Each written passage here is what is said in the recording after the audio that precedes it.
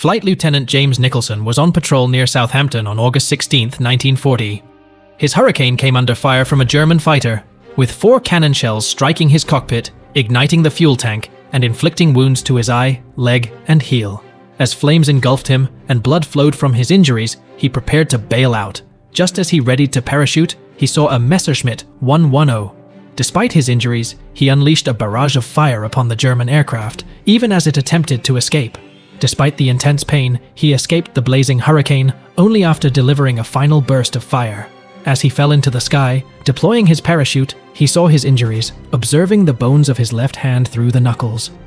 Landing in a field, he was rushed to a hospital and almost died. Weeks later, he emerged from danger, though the burns would take much longer to heal.